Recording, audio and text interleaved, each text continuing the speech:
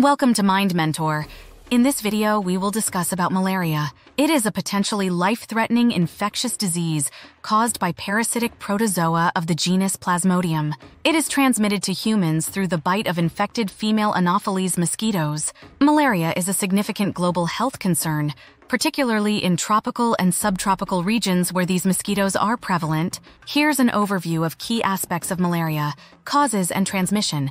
Malaria is primarily caused by several species of the Plasmodium parasite, with P. falciparum and P. vivax being the most common. When an infected female mosquito bites a human host, it injects the malaria parasites into the bloodstream.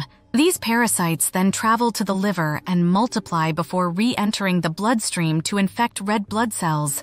Symptoms Malaria can lead to a wide range of symptoms, which typically appear 10 to 15 days after the mosquito bite. Common symptoms include high fever, chills, sweats, headaches, and fatigue. In severe cases, it can cause anemia, organ failure, and even death. Types of malaria. Un uncomplicated malaria. This is the most common form and is characterized by the symptoms mentioned above. 2. Severe malaria. This is a medical emergency and can lead to complications like cerebral malaria, severe anemia, acute respiratory distress syndrome, and organ failure. It can be fatal if not treated promptly. Diagnosis. Malaria is diagnosed through blood tests that can detect the presence of the Plasmodium parasite or its genetic material. Treatment. Malaria is treatable and curable if detected early. The choice of treatment depends on the type of Plasmodium species causing the infection and the severity of the disease. Common anti-malarial drugs include chloroquine, artemisinin-based combination therapies, and others. It's crucial to complete the full course of treatment to prevent the development of drug-resistant strains. Prevention. 1. Vector control. This involves measures to reduce the mosquito population, such as using insecticide-treated bed nets and indoor residual spraying. 2. Chemoprophylaxis. People traveling to malaria-endemic areas can take preventive medications to reduce the risk of infection. 3. Personal protection.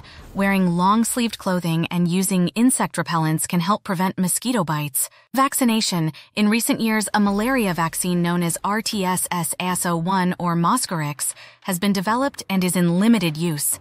It provides partial protection against P. falciparum, mainly in children in certain African countries.